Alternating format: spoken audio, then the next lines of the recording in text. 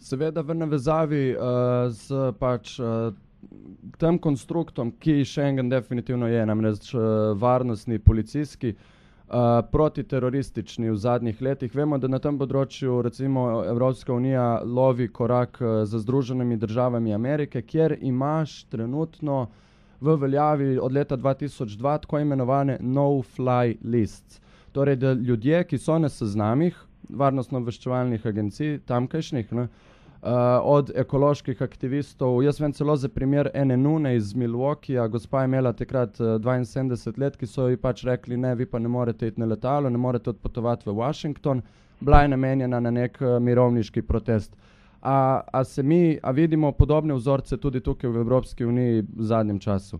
Ja, seveda, mislim, eh, sej, eh, brško je mogoče uvesti izredno stanje v Švici kadar se šefi svetovnega gospodarstva in svetovne politike srečujejo v Davosu um, in zapreti cel del, cel predel dežele, zato da ne bi prišlo do manifestacij, paste, da ne bi prišlo do svobode izražanja mnenja, uh, je jasno, da, da je Evropa popolnoma v istem ključu. Mogoče ima Evropa še kakšne zadržke zaradi javnega mnenja, mogoče ima malo več okusa.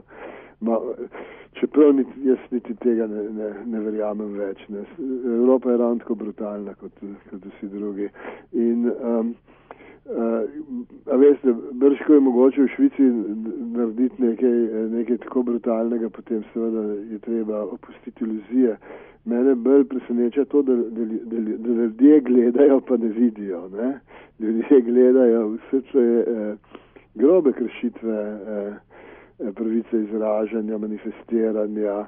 Eh, gledajo, recimo pred našimi očmi se sprejema eh, nova evropska pogodba, pri, pri kateri vesoljni evropski politični razred o, um, um, ignorira voljo ljudstva in, uh, in vendar se to pri nas v, množič, v množičnih medijih predstavlja kot neka herojska, herojska naloga naloga uh, slovenskega predsedovanja.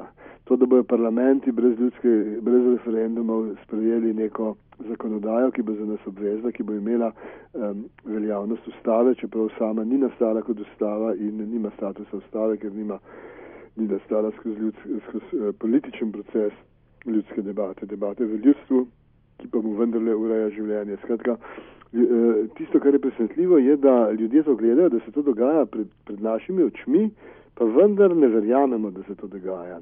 To, to spominja na hude čase 20. stoletja, ko so tudi brutalni režimi svoje nasilje izvajali vseh, vsem na očeh, pa so se ljudje pretvarjali, da ne vidijo oziroma da ne vidijo, kaj se v resnici dogaja.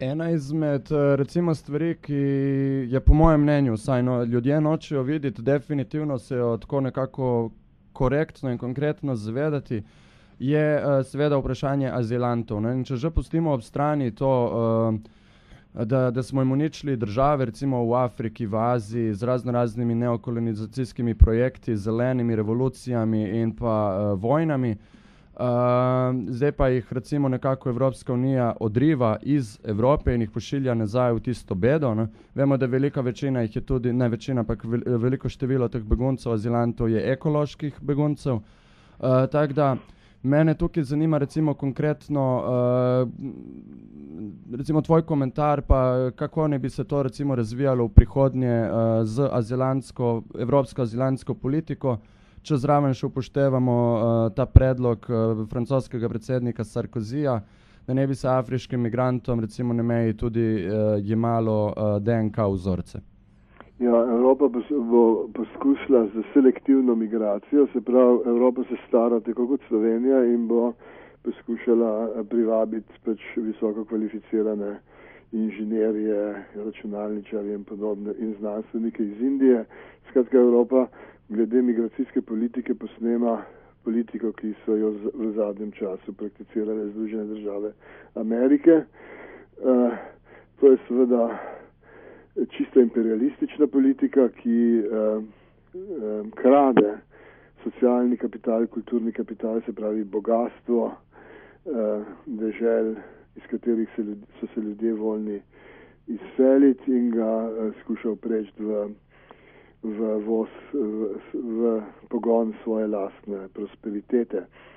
Um, ta, uh, mislim, da je ta politika obsojena na neuspeh iz enega, iz enega razloga, ki, ki je bolj globli in to je, da, so, da se procesi družbenega razlikovanja um, zelo drastično uveljavljajo tudi v sami Evropi, da eh, razlika med strukturo družb v nerazvitem svetu in v Evropi, pa tudi v ZDA, um, postaja vse manjša. Vse bolj se gibljamo proti modelu družbe, kjer uh, elita poseduje in nadzoruje uh, nacionalno bogatstvo. Velika večina prebivalstva pa je um, podrejena tej eliti, tej vladajoči, tem vladajočim skupinam in ži, živi um, od drobtin oziroma od milosti od, v klientelističnem odnosu, v parazitskem odnosu na gospodarje.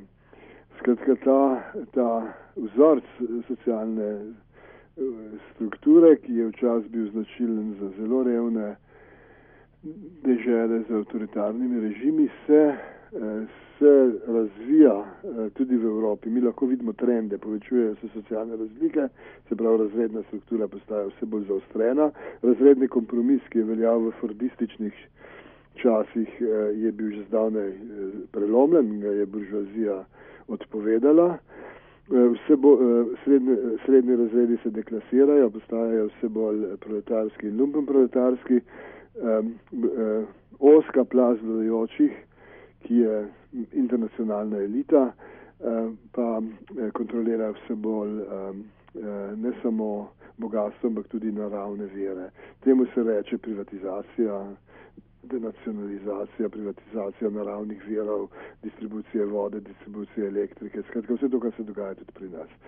In uh, s tem, da se recimo družbene storitve, javne storitve privatizirajo, se seveda močno poglobi, um, pospeši in poglobi proces uh, uh, uh, razlik med družbenimi, uh, povečevanja razlik med družbenimi razredi.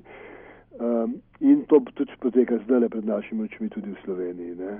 Zdravniki hočejo biti privatniki, privatne šole so uraden, uraden trend.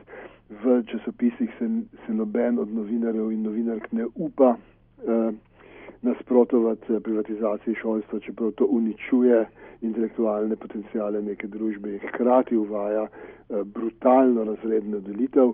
Skratka, to poteka povsod in Evropa bo kmalo uh, postala podobna um, deželam, iz katerih se ljudje izseljujejo. Mogoče bo um, raven življenja višja, vendar pa stres in, in uh, in um, neprijetnost življenja pa ne bo kaj dosti manjša, kot je danes v, ki je na Bližnem vzhodu ali pa v Afriki.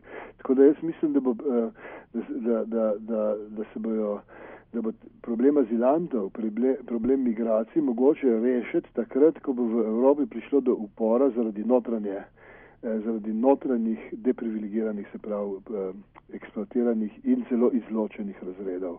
Takrat bomo pa, pa proletarci vseh držav se morali